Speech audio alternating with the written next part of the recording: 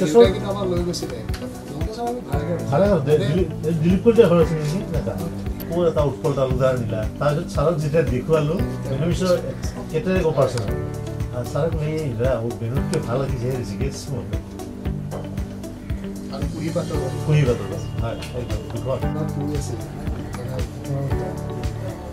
বুঢ়া হোৱা নাছিল নাই এইটি ফাইভত বুঢ়া হোৱা নাই নাই মানুহটো আহি আছে মানে প্ৰগ্ৰেম চগ্ৰেম হৈ আছে কোভিডৰ পিছত কোভিড যেতিয়া তেতিয়া মা অসুখটো যেতিয়া গম পালে চিৰিয়াছ তেতিয়া দেউতা একদম আনচিকিউৰ কথাবিলাক। হয় তেখেতৰ পৰিয়ালক লগ পালোঁ আৰু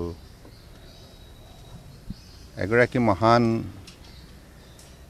শিল্পী আছিল লোক সাংস্কৃতিক গৱেষক আছিল আৰু অসমীয়া সমাজখনক বহুত সবল কৰি গ'ল। তেখেতে অসমীয়া কৃষ্টি সংস্কৃতিক বিশেষভাৱে আগুৱাই নিবৰ নিমিত্তে জীৱনকালত যিখিনি প্ৰচেষ্টা হাতত ল'লে অসমীয়া জাতিয়ে কেতিয়াও পাহৰিব নোৱাৰে আৰু তেখেত এই ক্ষেত্ৰত সদায় আমাৰ আদৰ্শ হৈ থাকিব।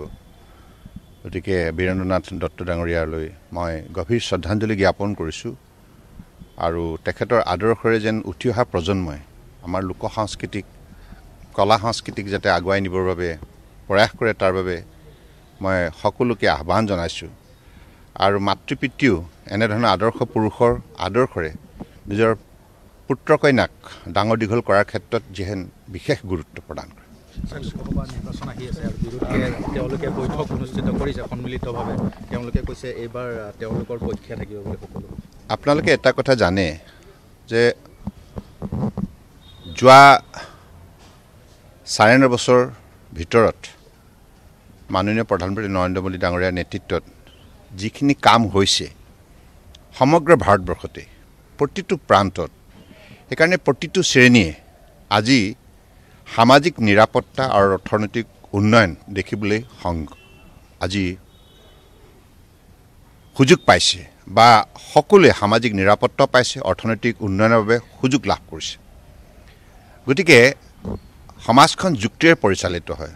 কংগ্ৰেছ আৰু অন্যান্য দলবিলাকে যিমানেই চেষ্টা নকৰক কিয় তেখেতসকলৰ মাজত নীতি আদৰ্শ নাই।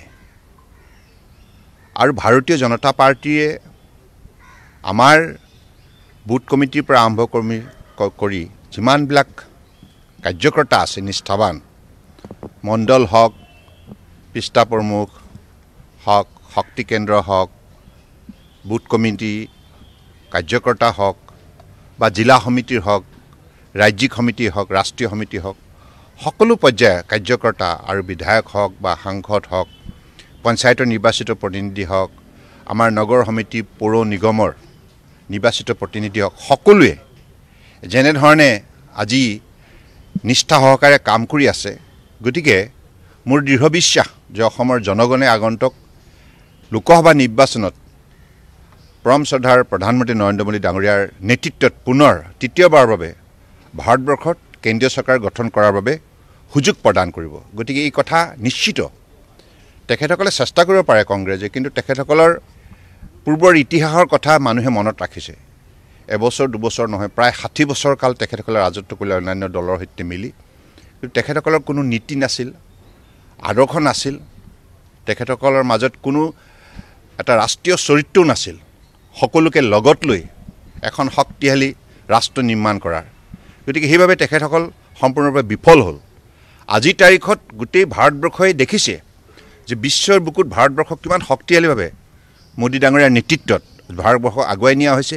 আৰু এই কথা আমি ভাৰতীয় লোকসকলে কোৱাই কথা নহয় বিশ্বৰ আটাইতকৈ আগশাৰী যিবিলাক ৰাষ্ট্ৰৰ সেই ৰাষ্ট্ৰপ্ৰধানবিলাকে মুকলিমূৰীয়াকৈ আজি যেনেধৰণে আমাৰ ৰাষ্ট্ৰপ্ৰধান প্ৰধানমন্ত্ৰী ডাঙৰীয়াক প্ৰশংসা কৰিছে আৰু ভাৰতবৰ্ষত তেখেতৰ কাৰ্যকালত লোৱা বিভিন্ন কাৰ্যসূচী সফল ৰূপ দিয়াৰ বাবে এইবিলাক অধ্যয়ন কৰিবৰ বাবে আগ্ৰহ প্ৰকাশ কৰিছে। গতিকে আপোনালোকে দেখিছে কিছুদিনৰ আগতে নাছাৰ পৰা আহিও আমাৰ যিটো ইছৰোৰ কম পইচাত আমি চন্দ্ৰলৈ যিটো প্ৰযুক্তিৰ দ্বাৰা আমি যান পঠিয়ালোঁ ইমান কম খৰচৰ ভিতৰত। এই কথাবিলাক শিকিবলৈ এতিয়া নাছাৰ পৰা বৈজ্ঞানিকসকল আমেৰিকাৰ পৰা ভাৰতবৰ্ষলৈ ধাৱমান হৈছে। এই কথাই প্ৰমাণ আজি জি টুৱেণ্টি যেনেধৰণে সফল হ'ল। আজি এছিয়ান গেমছত যেনেধৰণে ভাৰতবৰ্ষৰ যুৱ শক্তিয়ে তেখেতসকলৰ শক্তি প্ৰদৰ্শন কৰিলে গতিকে প্ৰতিটো স্তৰতে যেনেধৰণে সফলতা বুটলিবলৈ সক্ষম হৈছে ভাৰতবৰ্ষই সেইবাবে ৰাইজে এই কথাবিলাক সূক্ষ্মভাৱে পৰ্যালোচনা কৰিয়ে ভোট দিব। গতিকে কাৰণে আমি নিশ্চিত যে আগন্তুক লোকসভা নিৰ্বাচনত আটাইতকৈ সৰহসংখ্যক আসন আমিয়ে পাম এই কথা নিশ্চিত। আমিতো আগতেও কৈছোঁ টুৱেল্ভ প্লাছ টুৱেল্ভ প্লাছৰ আমি সন্মুখত লক্ষ্য ৰাখি কাম কৰি আছোঁ।